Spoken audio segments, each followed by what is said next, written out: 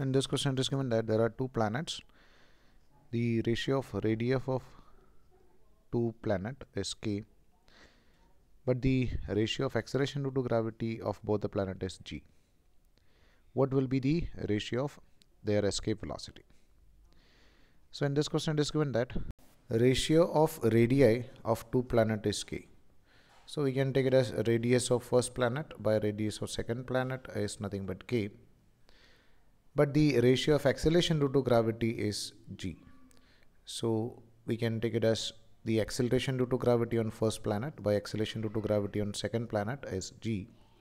What will be the ratio of their escape velocity?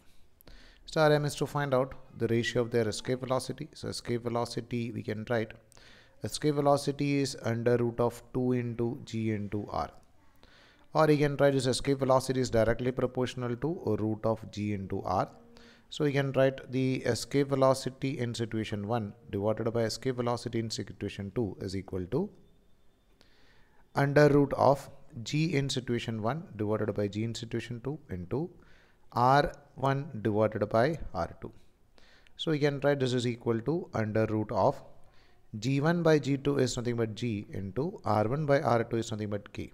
So we can write it as root of g into k or k into g so this can be written as a root is nothing but raised to 1 by 2 or you can write this is equal to kg raised to 1 by 2. So remember that kg raised to 1 by 2 means nothing but root of kg or you can say that a root of x can be written as x raised to 1 by 2.